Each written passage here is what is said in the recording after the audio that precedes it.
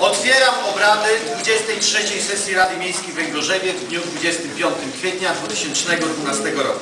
Stwierdzam, że na stan 15 radnych na dzisiejszą sesję przybyło radnych 15, czyli 100% obecności. Serdecznie witam przybyłych na dzisiejszą, dzisiejszą sesję radnych, sołtysów i przewodniczących samorządu mieszkańców, którzy są po porannym spotkaniu z panem burmistrzem. Tak, panie burmistrzu? Tak jest. Tak? Witam zaproszonych gości w osobach radnego wojewódzkiego pana Wiesława Pietrzaka, pana starosty węgorzyskiego, pana Krzysztofa Kołaszewskiego. Witam radnych powiatowych. Komisja Spraw Społecznych proponuje, aby z porządku dzisiejszego spotkania e, wycofać uchwałę, która jest w punkcie 15d, a dotycząca przystąpienia gminy Węgorzewo do Międzynarodowego Zrzeszenia City.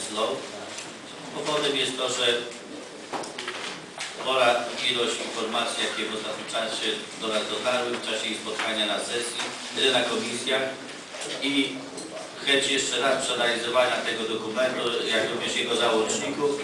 I w związku z tym chcemy, aby tym tematem raz, e, żeby tą sesję, żeby ten temat przełożyć na sesję majową, dać radnym więcej czasu na podjęcie oczywiście w miarę słusznych decyzji. Także Wykreślenie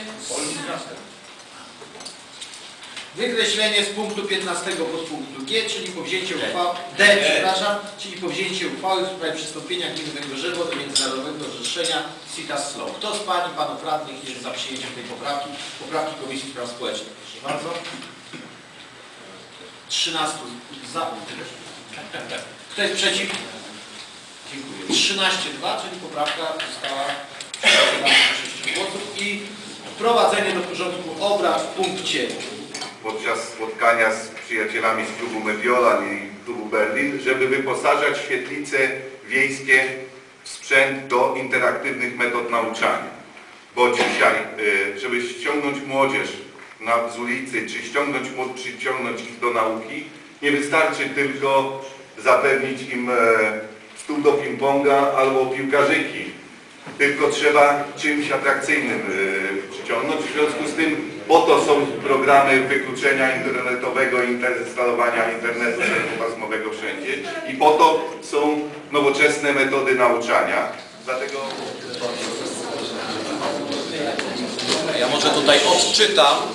Umowa darowizny zawarta w dniu 27 marca pomiędzy gminą Węgorzewo reprezentowaną przez burmistrza Krzysztofa Piwowarczyka z Kodra, sygnatą skarbnika gminy Danuty Michałowskiej, a klubem Rotary Warszawa City, y, zwanym dalej Darczyńcą, reprezentowanym przez y, pana Janusza Paciorka i Andrzeja Tadeusza Cieślawskiego.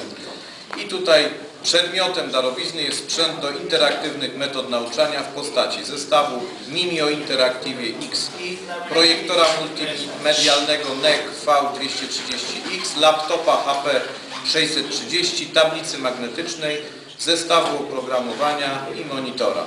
Y, Ja w imieniu tutaj obdarowanego podpisuję tą umowę, ale przypomnę, że ten cały sprzęt będzie stanowił wyposażenie świetlicy w miejscowości Stawki i tutaj już jakby opiekunem faktycznym tego sprzętu będzie obecny tu na sali pan sołtys Stawek, pan Tadeusz Górski.